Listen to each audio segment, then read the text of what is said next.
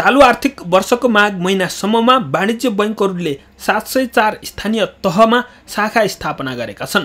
सरकारले हरेक स्थानीय सरकारको कारोबार वाणिज्य बैङ्कबाट हुनुपर्ने व्यवस्था गरेपछि वाणिज्य बैङ्कहरूलाई स्थानीय तहमा जानै पर्ने बाध्यात्मक अवस्था आएको थियो। सोही अनुरूप अधिकांश बैङ्कहरूले स्थानीय तहमा शाखा विस्तार गरेका हुन्। स्थानीय तहमा शाखा विस्तार गरेसँगै वाणिज्य बैङ्कहरूको शाखा सङ्ख्या अन्य वित्तीय संस्थाहरूको भन्दा बढी भएको छ।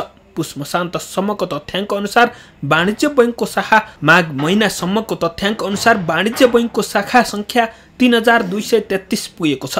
विकास बैङ्कको एक हजार एक सय उनासाठी वित्त कम्पनीको एक सय उनासय र लघु वित्त कम्पनीको तिन हजार शाखा सञ्जाल विस्तार भएको छ। सरकारले वित्तीय सेवा सबैको पहुँचसम्म पुर्याउने रणनीति बनाएको छ।